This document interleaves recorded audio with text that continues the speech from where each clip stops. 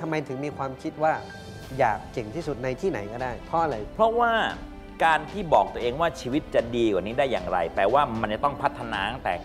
การงานก่อนเนี่ย สุดท้ายผมไม่รู้เหมือนกันว่าผมจะได้พัฒนาตัวเองได้กลายไปเป็นอะไรในอนาคตนะมันคือการบอกตัวเองว่าเอออย่างน้อยกูอยากชีวิตดีแปลว่าทุกอย่างมันต้องดี มันก็เลยกลายเป็นการทำอะไรบนไมล์เซนนี้คืออยากมีชีวิตที่ดี ผมก็แค่เป็นคนหนึ่ง ที่อยากจะทำให้ชีวิตตัวเองเนี่ยมันดีขึ้น ถ้ากูเป็นเด็กล้างรถเนี่ยกูจะเป็นเด็กล้างรถที่เก่งที่สุดในเชียงใหม่ได้ยังไง